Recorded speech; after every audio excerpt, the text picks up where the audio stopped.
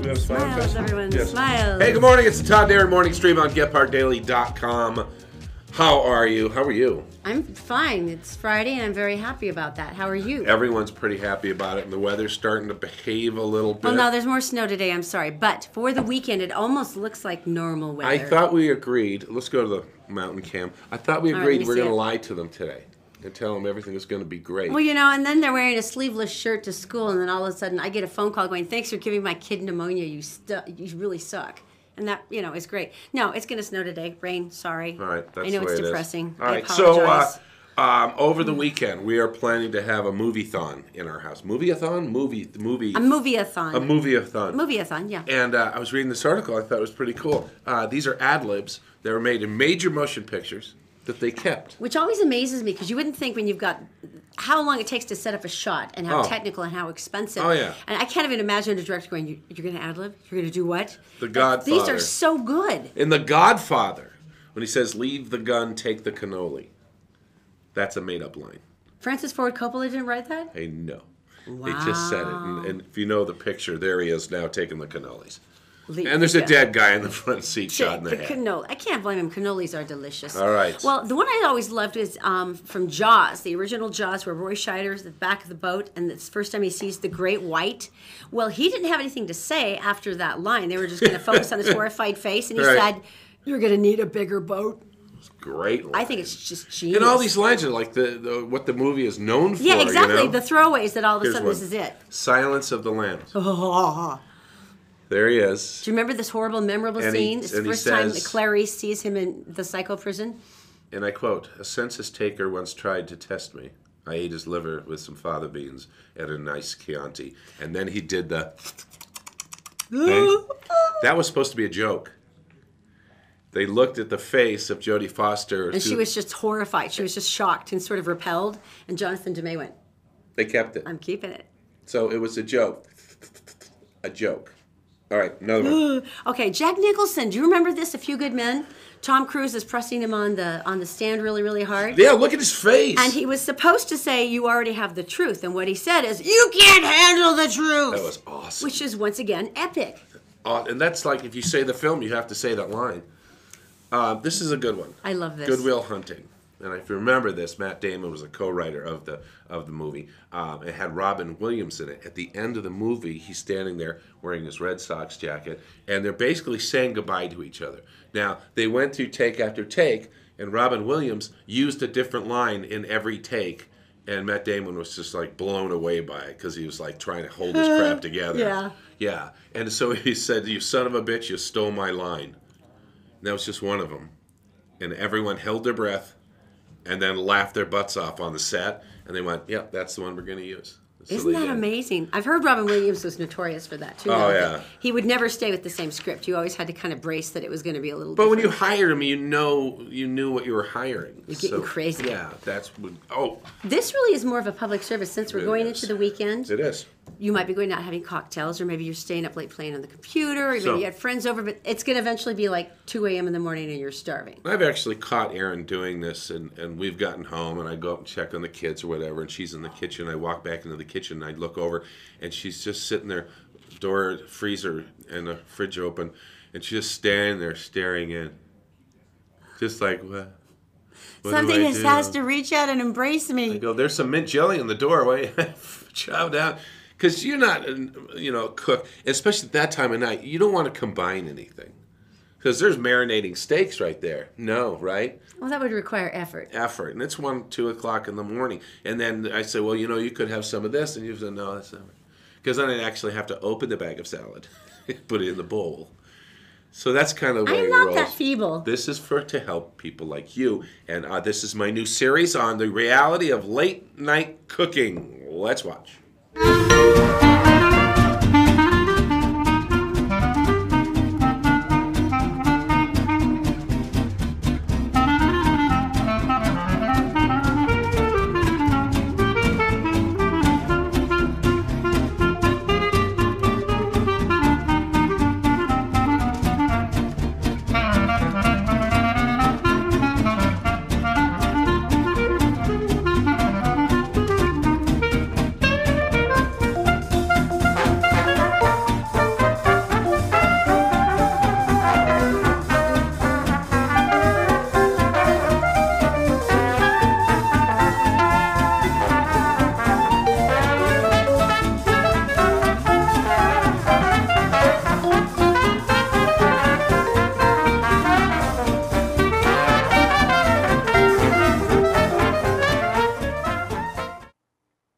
go. Really, you think I'm pathetic? This, oh, trust me, the music is awesome, by the way. Uh, number two is the fact that you're going to hit one of those weeks and nights and early mornings, and you're going to go, What did Todd make again? And you really think the dried ramen is going to? And if you do, I want you to take pictures and videos to send them to us. Although I do like the touch of parsley for that mwah, debonair kind of. Parsa- yeah, Mwah. it's like if you lean over the food and go like that, which I always find is really annoying. It was delightfully debonair. I was bouquet. really very impressed. All right, so what do we have coming up? All right, we got to go to Daisy in the Gephardt Daily Newsroom. Lots of stuff happening today. First of all, it's brought to you by Columbus Travel. Only a couple days more to get a hold of their amazing April sale where you will save hundreds of dollars on your vacation. Go to columbusvacations.com. Also by Executive Transportation, March, our beloved friend who has the, sweetest fleet of Escalades you've ever seen in the world. You can book a trip with him at Executive Transportation, excuse me, executiveutah.com, and all Utah Plumbing, Heating, and Air. This is the time to get your air conditioner looked at. Why don't you call John? It's allutahplumbing.com. Daisy, what's going on? Good morning, Todd and. Happy Friday, everyone. Here's what's making news today on GephardtDaily.com. The Utah Highway Patrol is investigating a fatal accident which claimed the life of a 73 year old truck driver outside Cedar City. Investigators tell Gephardt Daily the accident happened about 3 p.m. when the driver, identified as Morris Carter of Beryl, Utah, veered off the side of the road and then overcorrected, causing the truck to roll. He was pronounced dead at the scene. A Kaysville woman is behind bars accused of having sex with a teenage boy and supplying him with marijuana. Police say 41 year old Audra Allen rendezvoused with a 16 year old at least four times in November and January. Allen's been charged with a third degree felony and two counts of endangerment of a child. She's currently booked in the Davis County Jail. Playoff fever is alive and well in downtown Salt Lake City as the Jazz prepare to take on the LA Clippers in Game 6 of the NBA Western Conference playoffs. The Jazz have taken a 3 2 lead in the series and can wrap things up with a win in Salt Lake tonight. And now a quick look at your weekend forecast. You can expect scattered showers and even a touch of snow Friday morning, but we dry out and warm up by Friday afternoon with a high in the upper 40s. The warming trend continues a little bit Saturday and Sunday with highs in the mid 50s to low 60s. That's it for now. More headlines 24 7 at GephardtDaily.com. Go Jazz! There are two ways to fix something. Uh, one is the first time, and the other one is you don't really fix it at all, and there's duct tape on it. We're talking about plumbing here. We're talking about heating. We're talking about air conditioning. We're talking about sprinklers. We're talking about drains. talking about faucets that leak and all those different things. When you have an emergency in your house, broken water line, something going everywhere, toilets backing up. That's not the time to go shopping for a uh, plumber. The time is now to remember all Utah plumbing, heating, and air because they can do the entire job for you. And once you have their number on your phone, you can call them as you're knee deep in the hoopla. They will fix it once, it will be done. So go online, allutahplumbing.com. Is that what we're calling the reverse sewer pipe now? Hoopla? Hoopla. Hoopla. Okay, let's move to something far more delightful and interesting, and that, of course, would be Johnny Mathis. Now, The, this- the romance king? Oh, you know, he was the most amazing man because uh, he is the voice of romance.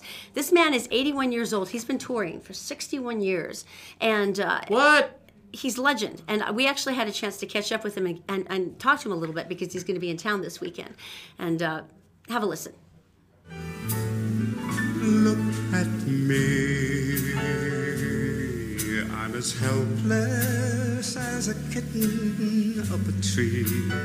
Okay, I'd like to tell you that I'm not totally fangirling right now, but I'm totally freaking fangirling because I've got Johnny Mathis on the phone. He like called here to us.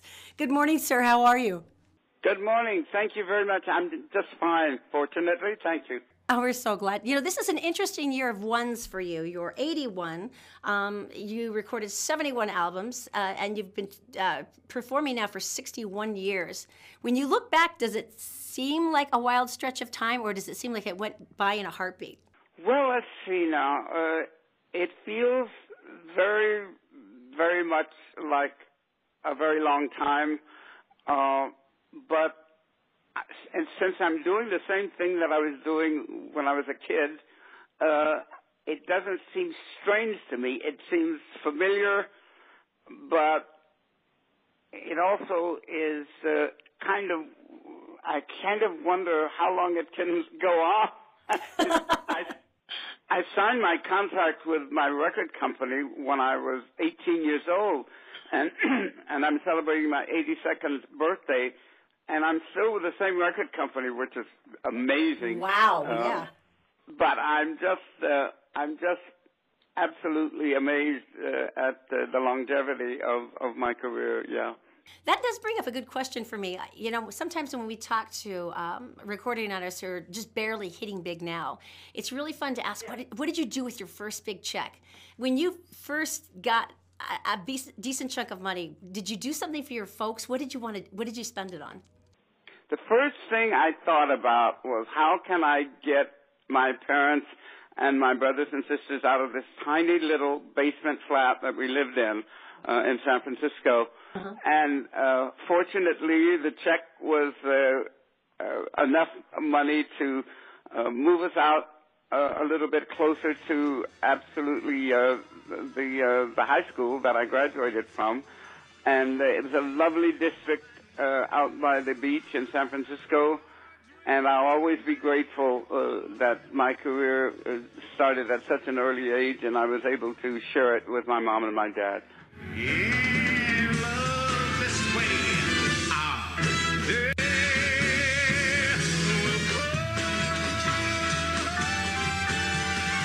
I have to tell you, I was talking to a couple of girlfriends yesterday, going, "I get to interview Johnny Mathis tomorrow. I'm so freaking excited!" And my girlfriend, my girlfriend Janine, had insisted that I tell you that she was actually conceived to your music. So you apparently are responsible for one of my closest friends. Very, you put that very nicely. Thank you. Do you get those comments a lot? I do. Uh, you know, I, I kind of equate it to uh, my listening habits over the years to music and how it affected almost every aspect of my life. Uh, hearing certain music uh, bring back certain memories, and uh, they'll always be with you. Uh, it's, a, it's a wonderful, wonderful thing that we have in our lives. Uh, music of all natures. Uh, I grew up uh, I was very fortunate to grow up in San Francisco where I got a chance to meet and uh, study with a wonderful voice teacher. Most kids uh, never get that opportunity because I had no money, and so I couldn't pay her. But I did uh, odd jobs for her. I ran errands for her, and I sat in the room while she was uh, working with her other students. And I assimilated all of the things that she was trying to impart to a lot of these vocal students. So I was very, very fortunate as a young kid to say, to get that image of what I was about to embark on. It wasn't just uh, a lot of fun. It was a lot of uh, a lot of hard work, and uh, for me, it was uh, it was a life changer. Well, our beloved Johnny Mathis is going to be here, and he's singing at the brand new Eccles Theater, which is absolutely heart stopping. This is going to be on Saturday, April 29th. You can get your tickets at artsaltlake.org. That's artsaltlake.org. Mr. Mathis, thank you so much. This has been such a pleasure talking to you. You're, you're just amazing. Thank you so much. All right, take care, Erin. Thank you, sir. All right. That's He was very, incredible. Very romantic. I know. It's, it's Oh. I, th- it was very funny though because I there, I don't know how to say it nicely, but I've had multiple people say, "Yeah, I became impregnated to him," and it's like, that's good. And can you imagine him being the one that they approach with It's either that? that or the Barry White fan club. right. Okay, coming up. oh, coming up. Um, um, um, um, I don't know which one I want to talk about more. There's so many. Okay. There is actually a country that wants you. There's a country that wants you to move there, and it's a See? nice country. It's a wonderful one. It's coming up next. We're brought to you this morning by Executive Transportation. Elegant service, professional style. Go to executiveutah.com. And All Utah Plumbing. Your home deserves the best. 24 hour emergency service at allutahplumbing.com.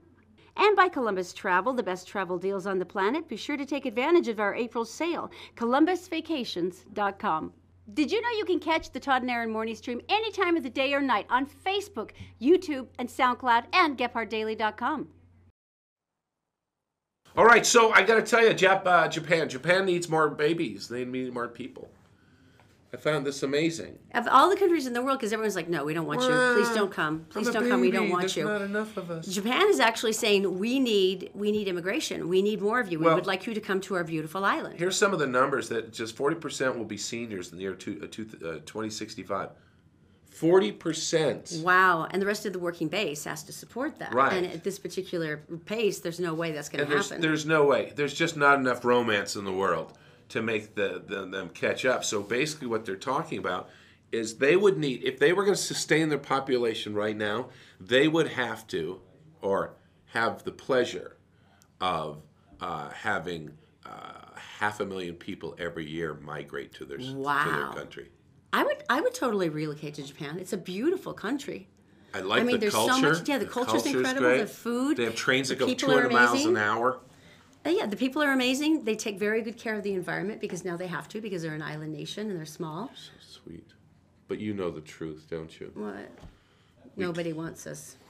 We can't migrate anywhere. We had a friend who came back from New Zealand and he had been so in love with it. I'm like, we should go look at that. And Right. Todd and I were like so excited and we were checking like immigration information and blah, blah, blah. And they're like, if you're over this age, you can't come here. And I'm like, well, okay, Australia, man. They used to like advertise for Australia. people. Let's check Australia. I love Australia. Right? You check if you're over this age. We so No don't want you. Shrimp on the Barbie for Yeah, us. Canada, you can't come in unless you've got a business worth over a quarter million dollars. what? So basically, nobody wants us. We have been rejected by entire continents now. And now they're threatening our health care. What will we do? what will we There's do? nothing left for us. So, if you're thinking that that would be a cool thing and you'd like to go move someplace, go find out why you can't, because you probably can't. But you can to Japan. They Not like you sm- there. Not smart. I can't. You're gonna go by yourself? If you are, you're taking the kids. Okay. All right. That's so, okay. See. I could eat Japanese food all day. Yeah. I could have dim sum. I'm going. Okay. I'm on that. Right. Okay, tell me something good. Now, don't show the picture yet if you would, Brenda, because I want to tell the story first.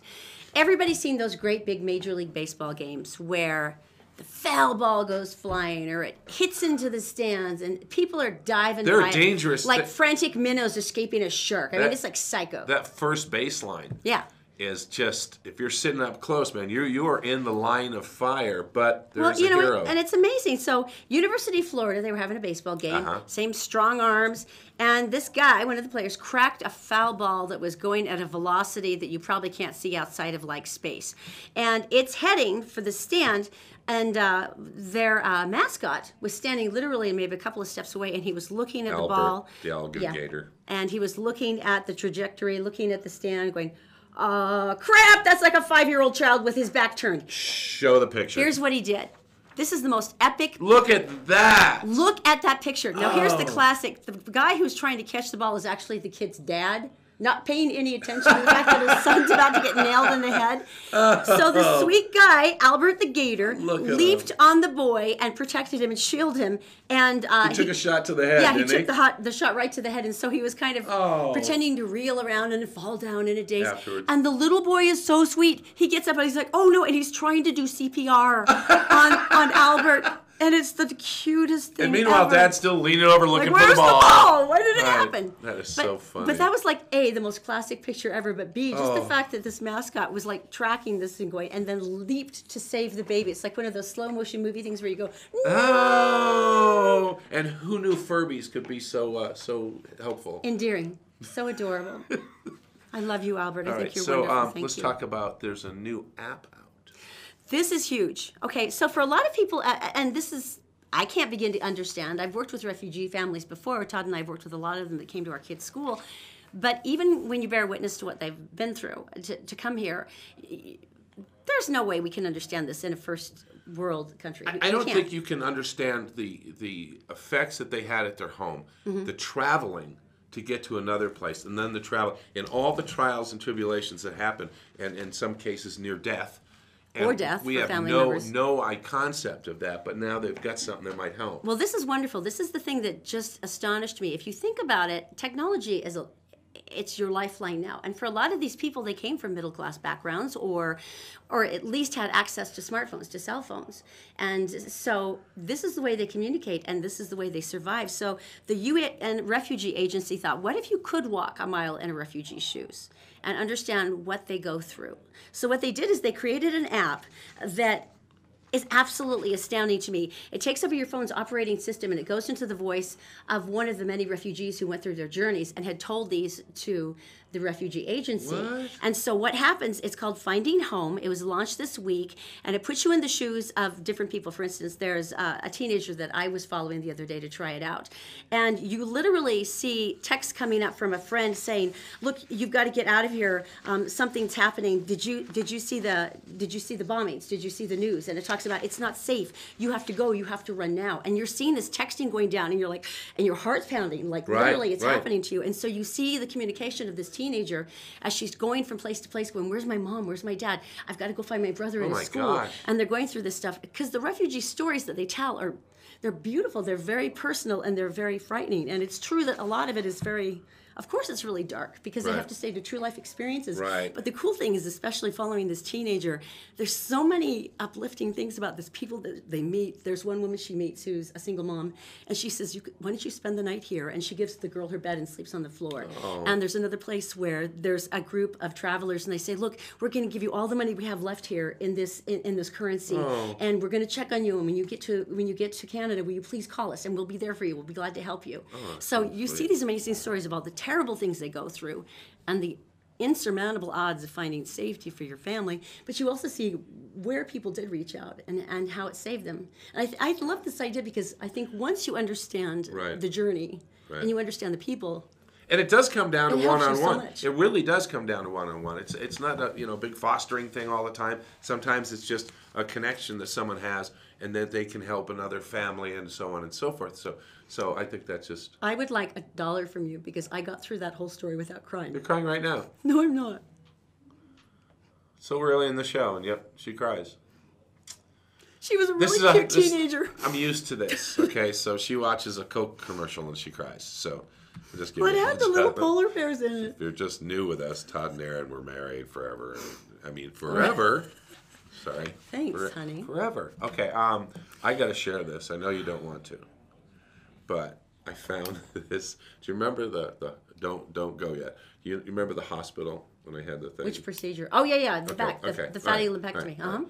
So you're gonna not like it for some reason, um, and that's because this was taken uh, taken back in a time that um, you were a little heavier.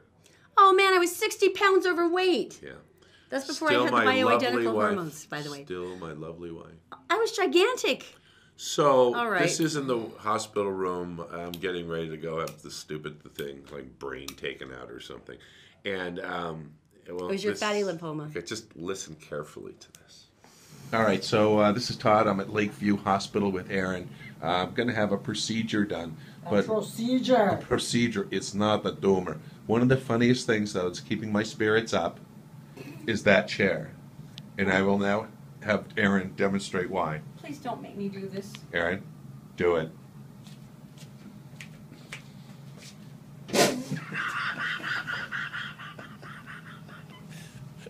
And you know the worst part? You, worst part? Is, is, is this is this is that you can't even do it delicately. Either way.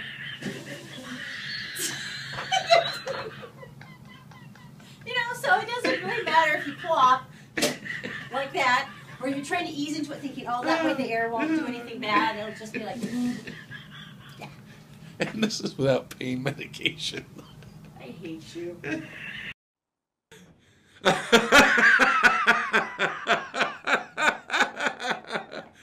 oh, that was rich. Oh. It was the worst Oh. chair, and you could hear it from outside in the hallway because I saw a nurse flip her head around and go, "What was that?" And I'm like, okay?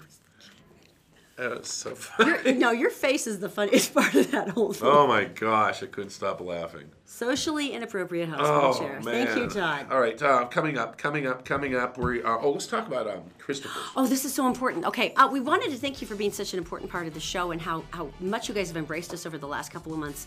Which has been crazy, over a million impressions, which still weirds me out.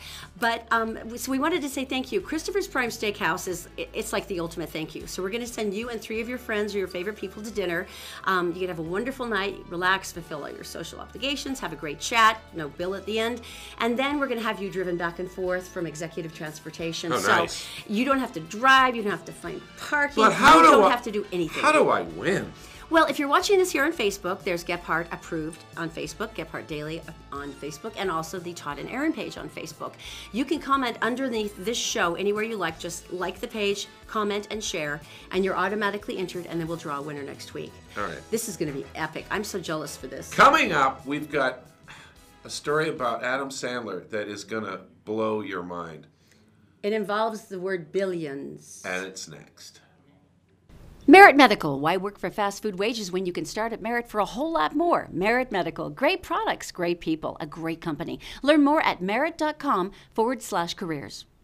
The law offices of Robert J. DeBry and Associates, with offices in Salt Lake City, Sandy City, and St. George. Check them out at robertdebry.com. The Todd and Erin Morning Stream is actually available anytime at gephardtdaily.com. Just click on the Todd and Erin page. All right, there's a new rule in town. Not a sheriff, just a rule. And All right, you- you'll see that this weekend when you go out. You know, the Utah State Legislature, I think they passed some really good stuff. We have a budget that is, is admired across the country. They do very, very well on a lot of interesting things. But every now and then you get these rules that you're like, We don't get it. Liquor why would you have passed that law? What, what All would even be the So point? So let's go through the point. Is they took down the Zion curtain, which they made people put up at pretty good expense. So it hid, so it hid any bar tending activity. evidently, this makes you thirsty for alcohol.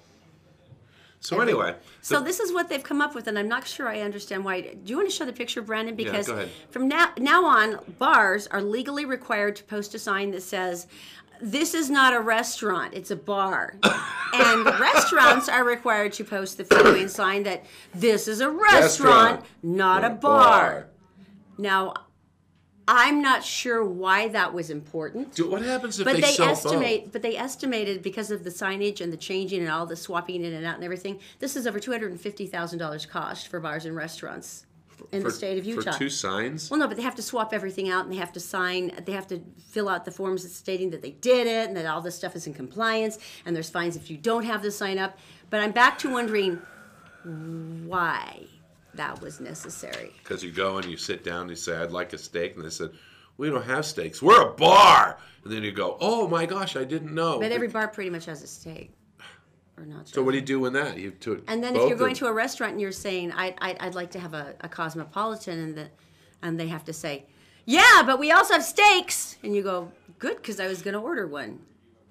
I'm, I, I guess I'm, I'm, I'm not. Yay for us. Maybe someone is smarter, and if you are, if you'd comment and tell us, we'd be happy to know. But I'm not really clear on why this was necessary. I'm going to talk about this because I think it's awesome. I want you to take you back to Blockbuster days. Oh, the big yellow and, a blue, sign. And Friday night, Friday night. Be the- kind, rewind. Okay, Friday night, the family would go together and go down for movie night, and they'd everybody pick out uh, the VHS tape, and they would take it home, and they would watch it, and then you wouldn't return it for a week and a half 'Cause you keep forgetting. because it's gone. It's under the couch. The dog chewed on it, and you have to go and do that. But you have memberships, and it was a commitment, and it was wonderful. And then People actually met each other and got married based on what section of the store you were browsing in, See? which was kind of cool. so six billion in uh, annual revenues back in 1989. That oh, it was, was, it was a juggernaut. It was everything. Yeah. that was basically the peak Yeah. for for them and then they closed like 4 billion stores they closed all the stores Redbox much. wasn't helping, and then all of a sudden, all the new streaming services like Netflix. Hulu and Netflix came on. and then it Netflix was like, kicked its butt, Yeah. and let me do this because Netflix came in, so you were Netflixing and chilling, right? Instead of um, blockbustering, and they didn't really have an expression. They should have. That might have helped. Guess where Blockbuster is still thriving? No, there's no way it still exists anywhere. It is still thriving. really. And it's not like in Texas. No, it's in Alaska.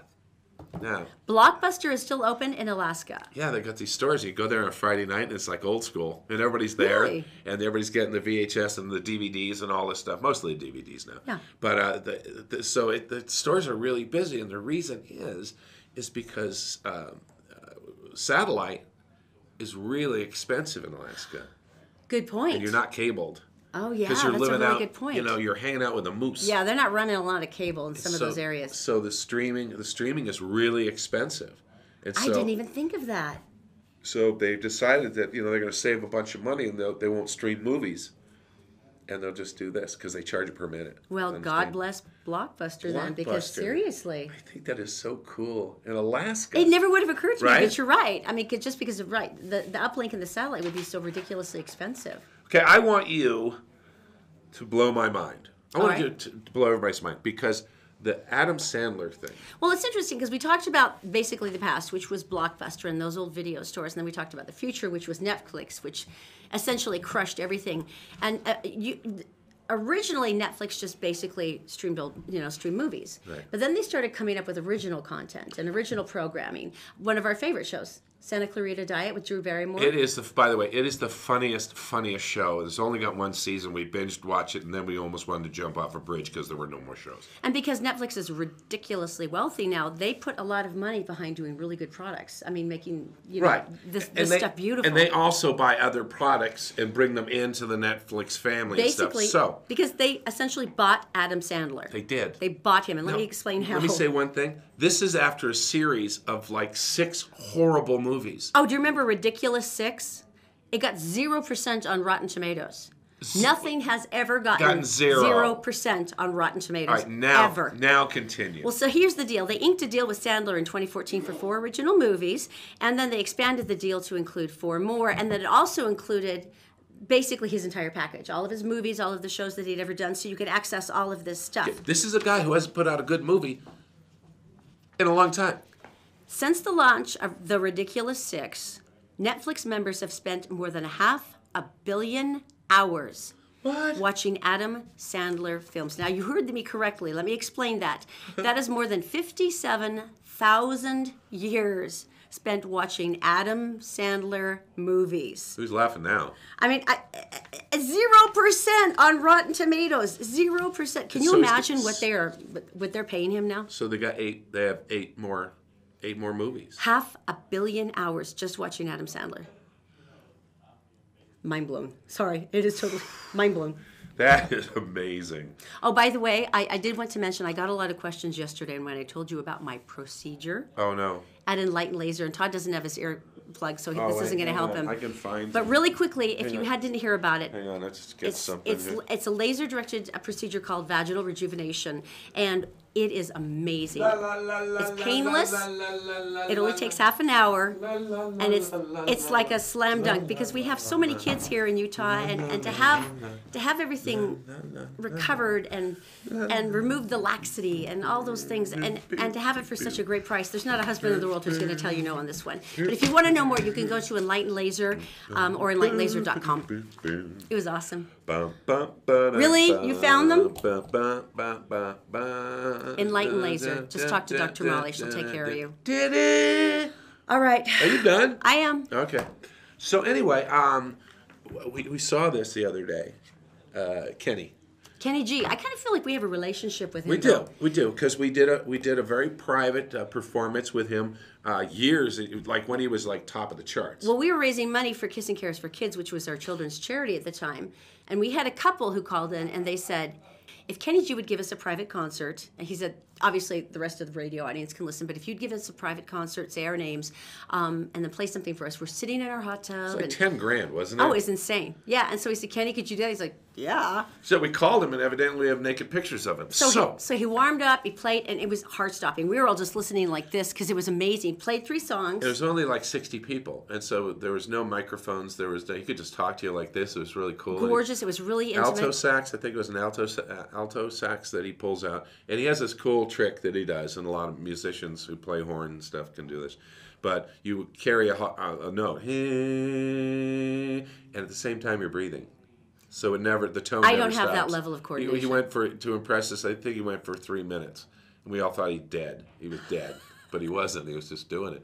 So anyway, Evidently, he carries his, his his instruments everywhere he goes. Well, of course he would, because you either have to practice or you're performing. I mean, this is basically his his third arm. And may I say that Cyndi Lauper saved uh, people on a on a plane in a in a concourse once when it was all delayed and they were all and she got on and took the microphone just singing "Girls Just Want to Have Fun." and the whole audience joined in on the ca- in the cabin singing it in Spanish. It was really cute. Well, so fun. here, so bringing us back to cu- current day. Yes. Uh, Kenny G's on a flight on Delta, and the pilot comes over and says, "I'm sorry, we've got an hour and a half delay. You can't get off because you know we're oh. already out." Oh. If only we sit- had a famous artist on the board. And the hearing- plane. the collective groan from the cabin. Kenny G actually did stand up and told the flight attendants, "I've got my sax. Would you like me to do something?" And these being the cool flight attendants went, "Yeah, are you kidding?" So he warmed up a little bit, and he actually went out there. He stood in the aisle, pulled open all the curtains so everyone could see it all the way down. Yeah. Can you guys show this? And he played for them. He's